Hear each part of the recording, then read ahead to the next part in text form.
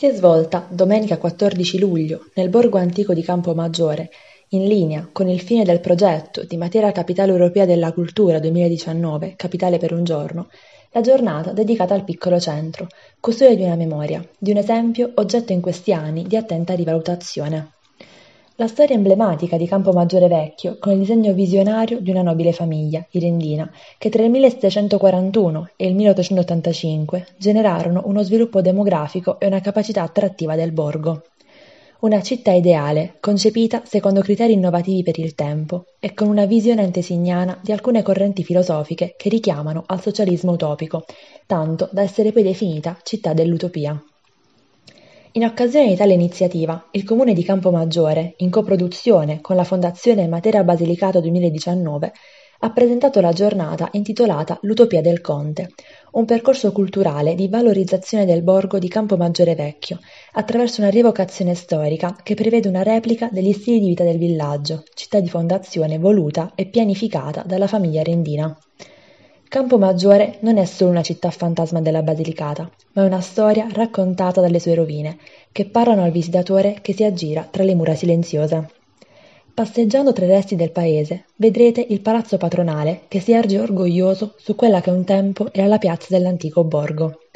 Di fronte ad esso si staglia il campanile della chiesa, abbracciato dalla vegetazione che ha trovato ospitalità tra le mura diroccate. La storia di Campomaggiore è una di quelle che vale la pena raccontare, e così ogni estate, nel suggestivo scenario della città fantasma, si riuniscono attori ed acrobati per ricordare il sogno di Todoro Rendina, che vuole trasformare Campomaggiore, all'epoca un piccolo paese all'ombra delle Dolomiti Lucane, in quella che viene ricordata come la città dell'utopia.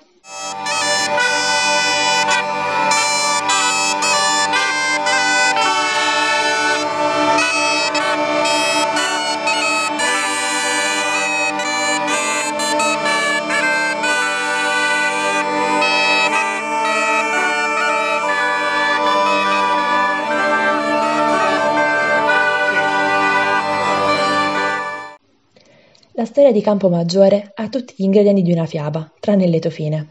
C'è un conte ricco e nobile, il conte Todoro Rendina, che, dopo aver viaggiato in Europa, studiando le teorie utopistiche di Robert Owen e Charles Fourier, decide di creare un paese diverso da tutti gli altri, un paese dove non esista la povertà. Sceglie di attuare il suo progetto in Basilicata, in un piccolo paese di contadini, Campomaggiore. È il 1743, quando costruisce il palazzo patronale di Campomaggiore, sotto la chiesa e le case dei contadini. Le abitazioni vengono costruite seguendo criteri urbanistici innovativi, che permettono agli abitanti di muoversi agevolmente e di avere a disposizione spazio sufficiente per vivere in condizioni igieniche ottimali. Il conte Rendina, inoltre, stabilisce delle norme che regolino la vita del paese. Ogni contadino, ad esempio, deve avere a disposizione un'abitazione con un piccolo apprezzamento di terra che gli permetta di vivere. Ogni contadino deve avere legname sufficiente per scaldarsi, con l'obbligo di piantare tre alberi da frutto per ogni fusto abbattuto. L'idea è buona e pare funzionare. Campomaggiore cresce e arriva a contare 1524 abitanti nel 1885. Il conte non ha fatto però i conti con i capricci della natura. Così, in quello stesso anno, il paese viene raso al suolo da una tremenda frana. I contadini per fortuna riescono a mettersi in salvo, ma Calmomaggiore è ormai ridotto un cumulo di macerie. I cittadini del paese distrutto provano a ricostruire le loro case, ma il terreno, su cui il conte Rendina ha costruito il suo sogno, è soggetto a continui smottamenti che rendono vano ogni tentativo, lasciando ai posteri un paese fantasma, testimonianza concreta di un'utopia infranta. Probabilmente la storia del conte Rendina non è una di quelle a lieto fine, ma è anche grazie a quella frana che oggi chi visita Campomaggiore può passeggiare in una città fantasma affascinante e suggestiva. L'edificio più spettacolare è il Palazzo Patronale, che si affaccia su quella che un tempo era la Piazza dei Voti, così chiamata per ricordare il giorno in cui i primi coloni si riunirono per scegliere di seguire il conte nella sua idea. Di fronte al palazzo si ergono i resti della chiesa dedicata alla Madonna del Carmelo, Intorno sono ancora visibili le mura delle antiche case contadine. A circa tre chilometri da Campomaggiore Vecchio si può visitare il Casino della Contessa, residenza estiva di Rendina. È in questo magnifico scenario che nei fine settimana di agosto va in scena La città dell'utopia, spettacolo teatrale che tra luci, effetti speciali e danze aeree racconta la storia del conte Todoro Rendina e del suo sogno infranto. paese dignitoso e operoso che ha vissuto una storia meravigliosa e che ha donato alla provincia grani, oli e vini tra i migliori che si potesse costruire qui. La storia del Conte è una storia che dovete conoscere assolutamente. Noi proveremo stasera a raccontarvi i suoi tratti essenziali. Proveremo a dirvi come un signore decise a un certo momento di donare un piccolo appezzamento di terra, della calce e delle travi affinché venissero abbandonate tutte le capanne e che tutte quelle capanne diventassero case. Era un uomo che aveva chiaro il concetto di uguaglianza sociale. Quello che disse al suo architetto Patturelli fu questo. Per favore, ogni piccolo appezzamento di terreno sul quale insisterà una casa deve essere perfettamente uguale all'altro. Una scienza sociale perfetta, una filosofia reale. Ecco perché forse non è stata un'utopia, lo è diventata dopo e lo è diventata prima nella sua mente, nella sua immaginazione e in quella dei suoi avi, ma è stata lui che l'ha perseguita. E stimolati da queste donazioni che il conte faceva al popolo di Campomaggiore, che era partito con 80 abitanti, la popolazione continuava ad affluire dai paesi vicini e poi da quelli anche un po' meno vicini e da 80 le famiglie crescevano, crescevano sempre di più. Il conte continuava a battersi per l'abbattimento della povertà di queste persone e non si accontentava mai, pretendeva in cambio dei piccoli censi. Per il resto andava in giro a procurare arieti merinos, ferri casertani e ne faceva dono a chi glieli chiedeva e qualche volta donava anche, se ce n'era bisogno, un piccolo contributo in denaro. In qualunque altra parte del mondo, quando una popolazione abbatte la propria povertà e non è che diventa ricca, perché i campomaggioresi di fine Settecento non sono diventati ricchi, però hanno potuto gestire un po' di pane, un po' di prodotti della terra, hanno potuto superare la povertà, hanno potuto pagare piccole tasse. Beh, quando tutto questo nel resto del mondo accade, accade sempre in seguito ad una rivoluzione. E oggi, oggi voi lo sapete che giorno è? Oggi, del tutto casualmente, o forse no, oggi è il 14 luglio del 2019 e 230 anni fa, lontano da qui, in un paese che si chiama Francia, in una città che si chiama Parigi, è accaduta una delle più grandi rivoluzioni dell'epoca moderna nella quale il popolo affamato ed operato di tasse ha deciso di insorgere e con il sangue ha rovesciato il sistema politico. Tutto questo a Campomaggiore non è accaduto, è accaduta la rivoluzione, la gente ha migliorato la propria posizione ma senza spargere una sola goccia di sangue.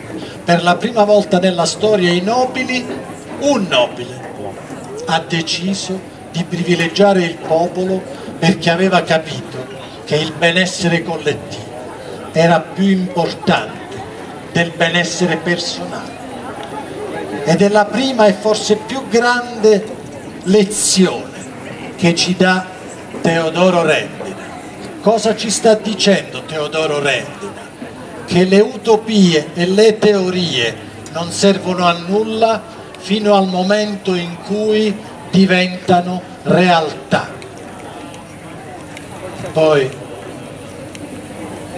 un triste giorno, molti anni dopo, un triste giorno di febbraio del 1885, un singhiozzo della terra ha aperto una ferita che ha inghiottito alcune case, ha distrutto tutte le altre e soprattutto ha messo in fuga per ragioni di sicurezza tutta la popolazione di questo borgo che dagli 80 abitanti iniziali era arrivata a contarne oltre 1500. E allora ci chiedevamo un'ode, ci chiedevamo di sapere come poter raccontare questo posto con le parole migliori. Un epitaffio, un'elegia, come quella che Manzoni scrisse per Napoleone e i fu siccome immobile, dato il mortal sospiro. Beh, quest'ode l'ha scritta un, uh, un successore di Teodoro Rendina, Gioacchino Cutinelli Rendina. Ha scritto un'ode esattamente come si scrivono le odi, al tempo passato e magnificando questo luogo. Allora si potrebbe dire che l'ode viene fatta nei confronti di una persona e che Gioacchino l'ha fatta invece nei confronti di un luogo e nemmeno questo è del tutto vero. Gioacchino scrive, era Gaio, era Gaio, questo povero campo maggiore, con le sue casette allineate ed uniformi e tutte in fila come le tende di un campo, coperte da tegole rosse ed ombreggiate da piante di fichi e di viti che salendo lungo le mura facevano ristoro innanzi all'architrave e alla finestrella. E fin qui Gioacchino parla esclusivamente di luoghi, di palazzi. Poi dice, sulla piazza un po' decentrata rispetto all'abitato, torreggiava, questo è il termine che usa, torreggiava perché questo palazzo ha quattro torri, torreggiava scuro e severo il palazzo dei Rendina e di riscontro vera la chiesa, bianca e pulita che pareva una sposa qui Gioacchino personalizza gli edifici perché se dice che la chiesa è bianca e pulita come una sposa e il palazzo è scuro e severo nelle parole di Gioacchino questo palazzo è lo sposo e nelle parole, nell'elegia di Gioacchino Cutinelli Rendina c'è l'idea chiarissima che questo luogo, per quanto abbandonato, per quanto sfortunato, sopravvive grazie all'unione di due forme che sono due persone, la sposa che è la chiesa e lo sposo che è il palazzo. E oggi, oggi che siete tutti arrivati qui, oggi voi non siete arrivati soltanto in un luogo abbandonato, oggi voi siete saliti su una macchina del tempo, su una macchina del tempo che ha spostato le lancette al 1700, perché se vi guardate intorno li ritrovate quei popolani lì, li ritrovate quei sorrisi lì, la ritrovate quella gente che c'era un tempo qui e non è finita, perché tra poco assisterete ad un altro racconto il racconto fatto da chi ha edificato l'editto di questo paese. Più avanti troverete un personaggio storico che ci racconterà come tutto questo ebbe inizio. E infine non poteva mancare l'artefice di tutto questo, il conte Teodoro Rendina a cavallo saluterà il suo popolo e tutti quanti lo applaudiranno e lo vedranno scomparire. Io utilizzerò le sue stesse parole, quelle che dirà il conte Cutinelli Rendita che per la prima volta dopo tanti secoli tornerà a Campomaggiore. Il conte dirà viva Campomaggiore, abbasso la povertà, viva la libertà.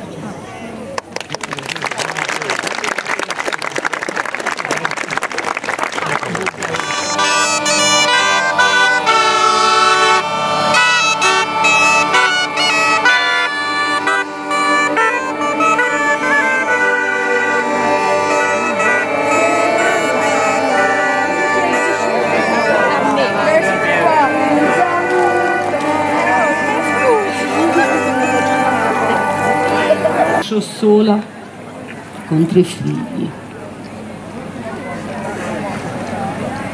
Io non sapevo come amministrare tutti questi beni e non fosse altro che per quel santuomo dell'abate Fernando, che era peraltro mio cognato, chissà cosa sarebbe stato di tutto questo.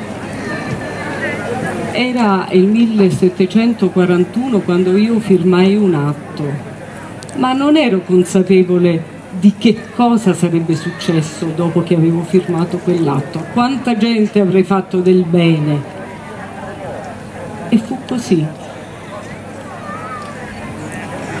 che pur non avendo conoscenze architettoniche, ma una donna sa bene quello che è lo spazio, perché ero mamma di tre figli, questi figli che si erano fatti spazio nelle mie viscere.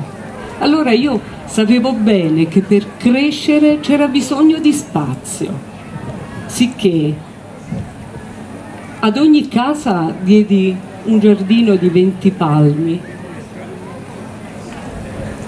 ad ogni famiglia 12 tomoli di terra. E per ogni famiglia c'era anche l'uso della legna, ad un patto però, che per ogni pianta che veniva recisa bisognava piantarne tre da frutto. Da tutto ciò si è ricavata un'equa tassa. E così che il borgo ha cominciato a crescere e a diventare paese meraviglioso. Ma chi mai avrebbe pensato tutto questo? Io, umile, regnante, inconsapevole, ho fatto sì che il volere di mio suocero attraverso il figlio Nicola Rendina, prematuramente scomparso, si avverasse io, che volevo che restasse il nome dei Rendina nella storia del popolo, no, è rimasto il mio nome, Marianna Proto Rendina. E così fu, che ne fui felice nonostante il dolore.